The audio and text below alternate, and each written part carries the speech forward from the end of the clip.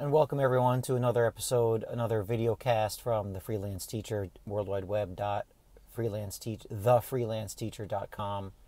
Uh, and think about that. In, in the spirit of today's video log, vlog, video post, YouTube channel production, uh, does anyone say World Wide Web dot anything anymore? Right? It's just the website, right? Thefreelanceteacher.com. I could just say that, and it would suffice. I think.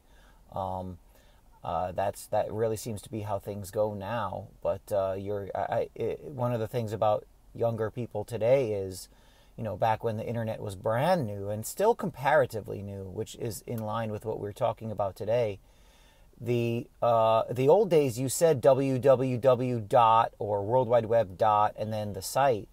So now those days seem to be over to some degree, um, and people just you know go to the site and assume that the URL. And another term, URL, Universal Resource Locator. A lot of young people don't know. Um, I said URL in front of the freshman the other day, and nothing happening. What's a URL? You know, what do you mean? Um, but when it was new, we knew all of these terms. They were new and exciting and, and fresh and all of this kind of stuff. So um, I guess those things have changed. And it leads me to what we were talking about briefly today, uh, in that we're talking about the, uh, I don't want to say the new economy because it's not necessarily new, the electronic economy, the online economy to some degree. But I was listening to a podcast by uh, the, um, the Ripple Effect podcast, and he was, the host was talking with James Corbett, who does a fantastic website called The Corbett Report if you want independent news and independent analysis and no commercials and things like that, a place like the Corbett Report is a place to go. And he does documentaries. I mean, the guy's entire show is online, his whole life is online. As a matter of fact, uh, he mentioned to the guy on the Ripple Effect that it's been about five years now that he's not done a side job or a regular job, that his job now is Corbett Report. His entire thing, he, his, he makes money from the Corbett Report. He is a podcaster. And that's remarkable because he says uh, Corbett mentioned something quite astute in that, you know, 10 years ago, if you had said, um, forget about when, when we were younger, uh, 20 years ago, 10 years ago, if you'd said, What do you do for a living? Meaning, what do you do to pay rent, to pay your mortgage, to put food on the table? Oh, I'm a podcaster. That would have been an impossibility. People, A, wouldn't have known what you're talking about. And B, it would have not been possible, I don't think necessarily, to come up with that as a job, as an as a way to earn money. And now it is. So I get um, I get students because I work with teenagers who are intensely curious about what they can, should, or will be able to do later on in the future.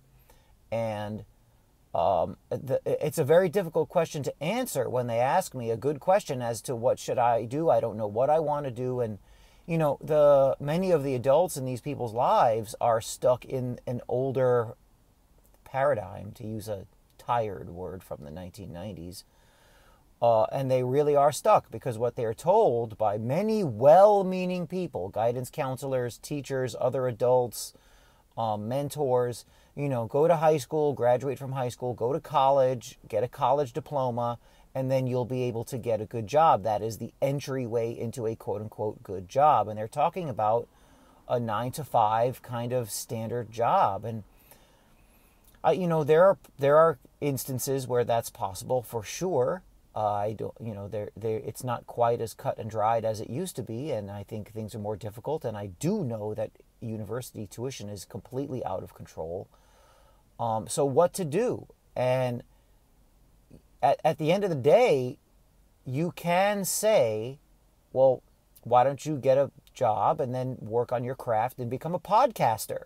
Now, that may sound ridiculous, but you know, it, it is possible. I don't know how possible it is compared to being a truck driver or uh, a high school English teacher, but these things are possible. And Corbett brought it out very well by saying that his life could never have been predicted before. And so the online eco- economy and what to do and how to handle your future and what to think about with regard to what you like doing versus what you want to do versus what makes money for you, these are all much more complex. And so my my last message to teenagers uh, who listen to this and watch is very simple. You have to consider the source of what you of of who you ask with what to do with yourself later uh, when you're done with high school because some of the paths are not able to be predicted by the people you speak with.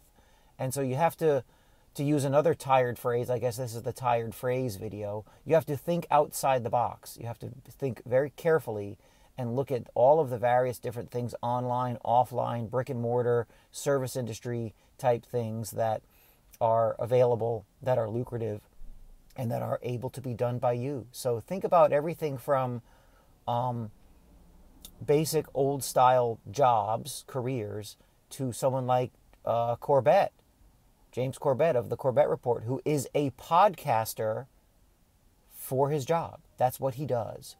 And that would have been impossible to predict. Um, just in the same way as the people who tell you that, well, that, that's not a great thing to do.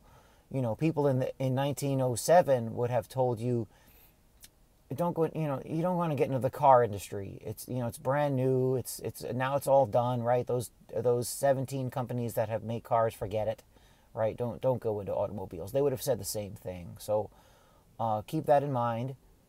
Look around carefully and think about things that that uh, that you're good at and things that earn capital and things that can get you moving forward and when a better choice comes along you take that all right, this has been the freelance teacher at worldwideweb.thefreelanceteacher.com.